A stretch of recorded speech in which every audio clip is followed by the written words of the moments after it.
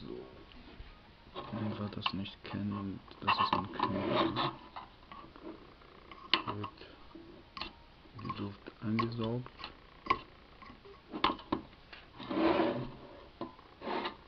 Das ist ein CPU.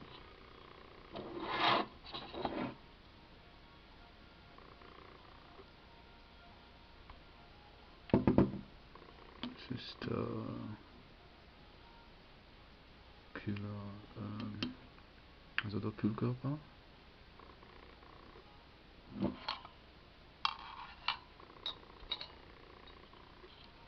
So, die Lamellen, das ist dafür da, dass, ähm, ja, also wenn es heiß wird, also der Prozessor dann selbst, weißt du, heiß wird, dazwischen ist entweder eine Thermopastel oder es ist so wie in diesem Fall auch äh, da dran gelötet, würde ich sagen.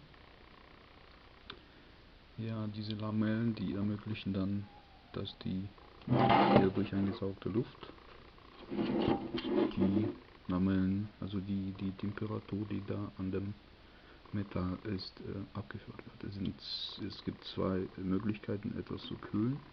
Und zwar einmal direkt, das heißt hier so, so die Temperatur.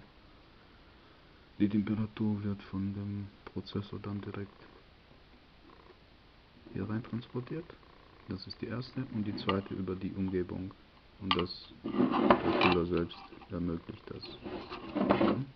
So das Bauteil, das ist übrigens äh, ja, Stromversorgung. Okay. Wir haben noch etwas. Und zwar eine TV-Karte. So, woran erkennt man das? So, das ist einmal von Philips. Dies ist auch sehr wichtig. So, das erkennt man einfach an diesen Anschlüssen. Ja. Kann man ganz, ganz gut sehen. So. So wird das dann reingesteckt. Das zeige ich euch dann. Ja, wofür ist die TV-Karte da? Ich denke, das versteht sich von selbst, damit man auf dem Computer auch TV gucken kann, beziehungsweise empfangen. So, kommen wir zu einer Grafikkarte.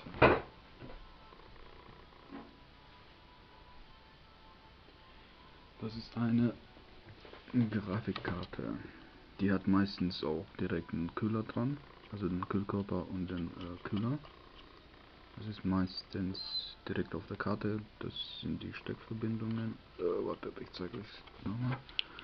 Diese hier, die 1, 2, 3 sind Steckverbindungen. Das heißt, es geht in, wird einfach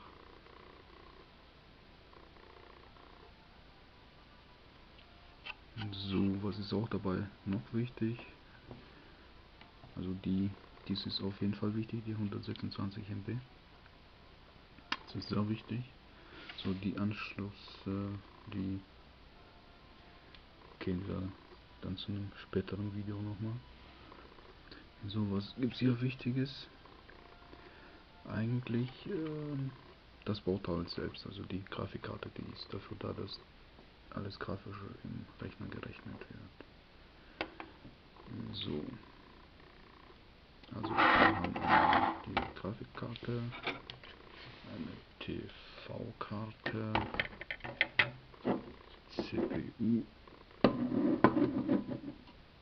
Das sind so die einigen Bauteile von dem PC von so wie ich den habe und ihr anscheinend habt auch welche, sonst könntet ihr das ja nicht gucken.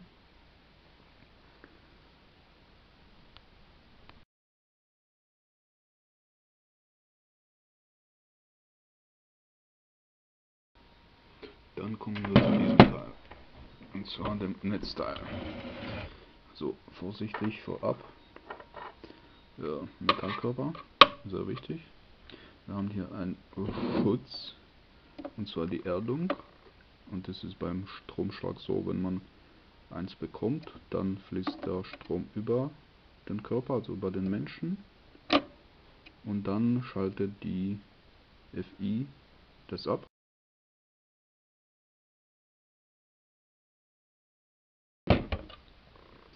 Und wenn es über die Erde geht, soweit ich das verstanden habe, beim Kurzschluss geht es sofort über, also in die Erde, weil das äh, so halt ist.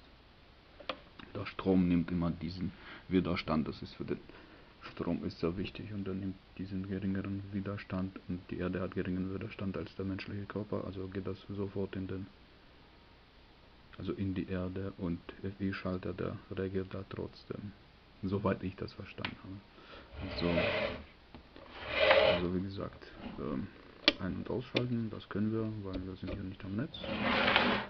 Dann haben wir hier den die Stromversorgung. Sehr viele Kabel. Das geht an die Platte selbst, ins Motherboard. Da sind noch ein paar Schalter. Das ist, äh, was ist das? Diese hier ist die Stromversorgung zum Beispiel für den DVD-Brenner, sage ich mal. So, da war das diese hier. Moment. Ja, ich glaube, das waren diese. Also diese hier ist die Stromversorgung für die Laufwerke. Das ist einer. Das ist einer. Dieses hier und dieses hier. Oder? Ja, würde ich sagen, erstmal, dass es das ist. Ich kenne mich da hundertprozentig auch nicht aus. So, das geht an die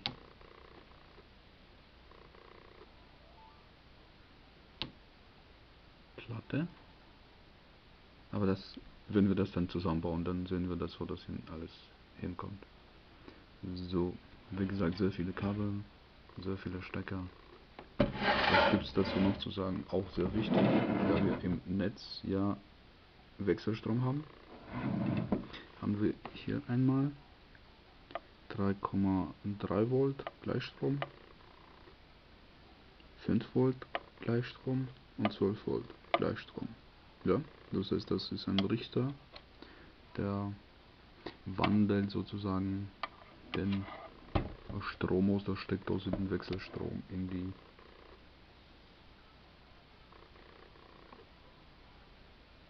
in den Gleichstrom. So rum. Okay, das war's jetzt mal.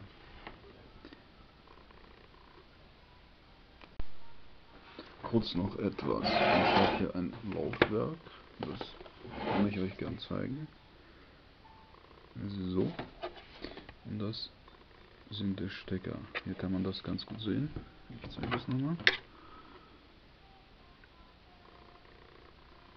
Also hier sind die plus 12 Volt, plus 5 Volt, also auf jeden Fall plus und Volt, plus und Volt und hier das Ground.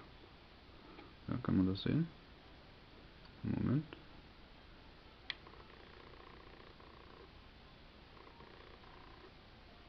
Ja, da. So. Okay. Ähm, wir nehmen einfach unseren Kabel. Das ist im Grunde egal welchen. Und stecken das da einfach. So funktioniert das dann. Ja. Hier sind natürlich mehrere. Also vier insgesamt. Und vier Laufwerke können wir dann da dran machen.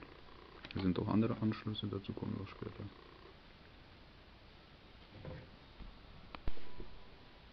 So, das ist die Platte. Also, da ist das CPU, das ist eine andere, aber ich zeige euch das jetzt. So, das ist der Arbeitsspeicher. Ja, das ist einer 256. Der hat ganz äh, andersrum. Ganz eine. Moment. Der passt hier gar nicht rein, oder? Ja, scheint so. Er passt da nicht rein. Okay. Diesen.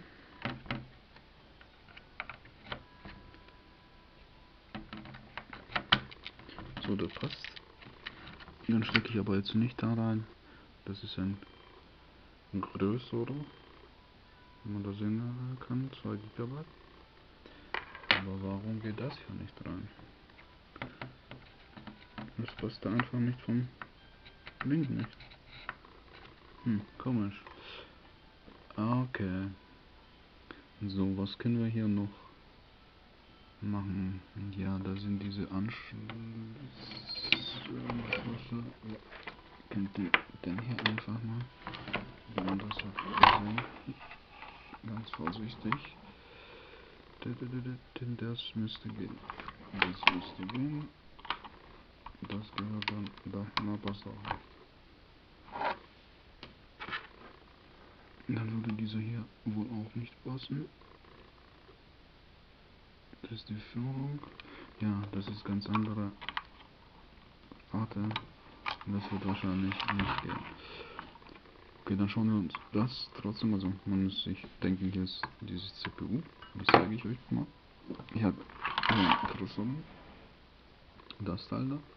Also müsst ihr euch das so eine Kühler vorstellen. Nur das CPU. So. Und das Ding ist dann da dran. Also wer nicht weiß, wie das aufgeht, man zieht einfach hier dran, macht das auf und dann geht das auch auf. So, da drin ist wie gesagt der Prozessor. Ja. Einfach so. Wir könnten diesen auch uns anschauen. Das geht dann einfach so, und man hat das aus. So kann man das gut sehen. So, jetzt haben wir das aufgemacht. Was heißt das jetzt? Oh, das ist ein bisschen dreckig. So, das weiße da, das weiße Zeug. Das ist die sogenannte Thermopaste. Die leitet dann, damit das äh, diese Pressfläche dazwischen ist die Paste, die ermöglicht dann den besseren Wärmetransport. So, wie gesagt, also wenn wir das jetzt so als Bauteil halt hätten, dann würde die Luft bzw. die Wärme von diesem Bauteil einfach über die Luft abgeführt.